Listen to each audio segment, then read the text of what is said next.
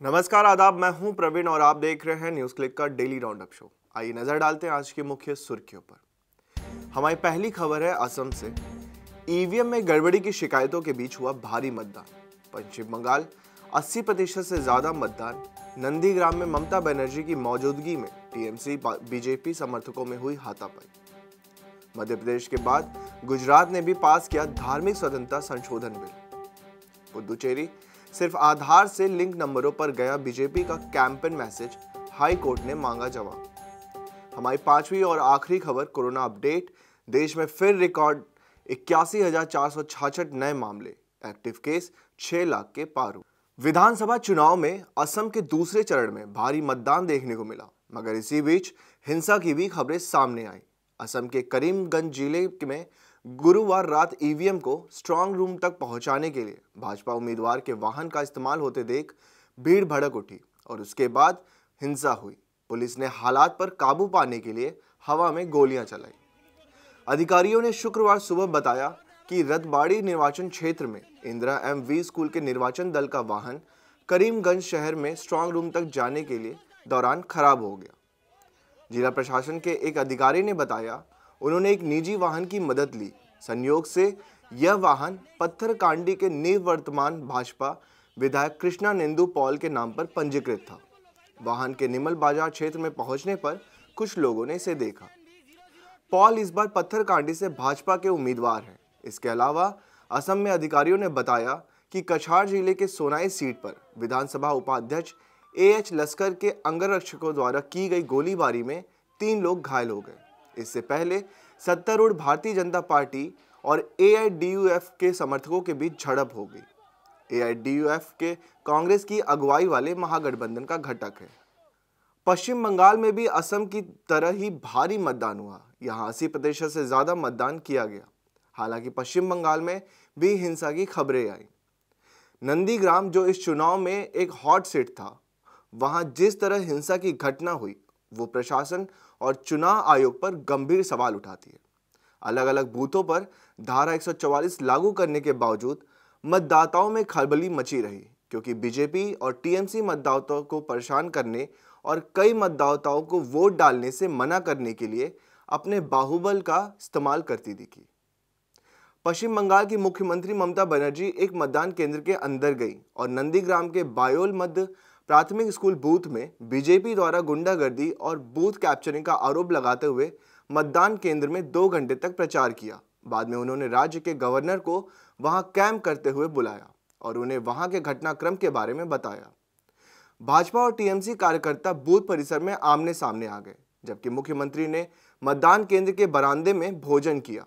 जबकि बीजेपी ने कहा है कि चुनाव निष्पक्ष रहे। टीएमसी और संयुक्त मोर्चा दोनों ने चुनाव प्रक्रिया में अनियमितता के आरोप लगाए। मुख्यमंत्री ने आरोप लगाया कि गृह मंत्री शाह केंद्रीय बलों को निर्देशित कर रहे हैं। यह शर्मनाक है, लोग उन्हें उचित जवाब देंगे। जिस तरह यहाँ तक कि महिला पत्रकारों से भी धक्का मुक्की की गई, वह निंदनीय है।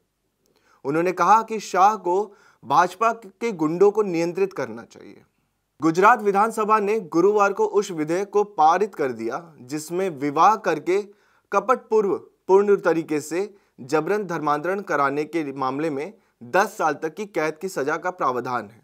विधेयक के माध्यम से 2003 के कानून को संशोधित किया गया है, जिसमें बलपूर्वक या प्रलोभन देकर धर्मांतरण का करने का सजा का प्रावधान है। सरकार के अनुसार गुजरात धार्मिक स्वतंत्रता विधेयक 2021 में उस उभरते चलन को रोकने का प्रावधान है जिसमें महिलाओं को धर्मांतरण कराने की मंशा से शादी कराने का, करने के लिए बहलाया, फुसलाया जाता है। विधानसभा में मुख्य विपक्षी कांग्रेस के सदस्यों ने विधेयक के खिलाफ मतदान किया। भाजपा शासित मध्य प्रदेश और उत्तर प्रदेश राज्यों में भी शादी करके जबरन धर्मांतरण कराने पर रोक लगाने वाले इस तरह के कानून लागू किए गए हैं। भाजपा को मद्रास हाईकोर्ट ने बड़ा झटका देते हुए कहा कि पुडुचेरी विधानसभा चुनाव 2021 में मतदाताओं के आधार कार्ड का प्रयोग एक गंभीर मामला है और इससे गोपनीयता भंग हो रही है। इसे बिल्कुल भी नज़रअंदाज नहीं किया जा सकता।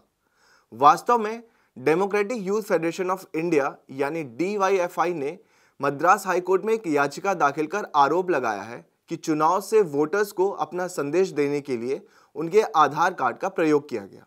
मद्रास हाईकोर्ट ने बीजेपी से जवाब मांगा है। हाईकोर्ट ने चुनाव आयोग को भी आड़े हाथों लिया है। साथ ही उसकी जिम्मेदारियों को भी याद दिलाया है। मद्रास हाईकोर्ट ने कहा है कि चुनाव आयोग वोटर्स की गोपनीयता की रक्षा के लिए एक संवैधानिक संस्था है। हाईकोर्ट ने सवाल किया कि क्या चुनाव आयोग इस मामले की जाँच कर रही है कि बीजेपी ने विधानसभा चुनाव में आदर्श आचार संहिता का उल्लंघन किया है या नहीं? हाईकोर्ट ने कहा कि यू को उन चिंताओं और आरोपों पर जवाब देना चाहिए, जो राजनीतिक अभियानों को बढ़ावा देने के लिए पुडुचेरी में भाजपा द्वारा केवल आधार लिंक्ड मोबाइल नंबर पर एसएमएस भेजे गए थे। केंद्रीय स्वास्थ्य मंत्रालय द्वारा आज शुक्रवार, यानी 2 अप्रैल को जारी आंकड़ों के अनुसार देश में पिछले 24 घंटों में कोरोना के फिर से रिकॉर्ड इक्यासी नए मामले दर्ज किए गए और इसके अलावा कोरोना से 24 घंटों में चार सौ उनहत्तर मरीजों को अपनी जान गंवानी पड़ी है। देश के सभी राज्यों में कोरोना की दर में तेज़ी से वृद्धि हो रही है, जिनमें महाराष्ट्र कोरोना का मुख्य केंद्र बना हुआ है। महाराष्ट्र में आज फिर से अब तक के रिकॉर्ड तिरालीस नए मामले दर्ज किए गए हैं और दो मरीजों की मौत हुई है। हालाँकि इसी बीच देश भर में कोरोना से पीड़ित पचास मरीजों को ठीक किया गया है, लेकिन एक्टिव मामलों में तीस मामलों की बढ़ोतरी हुई है। देश में कुल मामलों की संख्या बढ़कर एक करोड़ तेईस लाख तीन हज़ार एक सौ इकतीस हो गई है, जिनमें से संक्रमण के कारण अब तक एक लाख तिरसठ हज़ार तीन सौ छियानवे मरीजों की मौत हो चुकी है। देश में कोरोना से पीड़ित तिरानवे दशमलव छह सात फ़ीसदी, यानी एक करोड़ पंद्रह लाख पच्चीस हज़ार उनतालीस मरीजों को ठीक किया जा चुका है और एक्टिव मामलों की संख्या बढ़कर पाँच फ़ीसदी, यानी छह लाख चौदह हज़ार छह सौ छियानवे हो गई है। आज के डेली राउंडअप में बस इतना ही। न्यूज़ क्लिक के यूट्यूब चैनल को सब्सक्राइब करें। साथ ही देश और दुनिया की अन्य खबरों के लिए हमारी हिंदी और इंग्लिश वेबसाइट भी ज़रूर देखें। फेसबुक इंस्टाग्राम और ट्विटर पर हमें फॉलो करें। न्यूज़ क्लिक देखने के लिए शुक्रिया। चंदन जी एक बार जरा दूसरी स्टोरी फिर से लाना तो? कर दो कर दो। हाँ कट कर दो।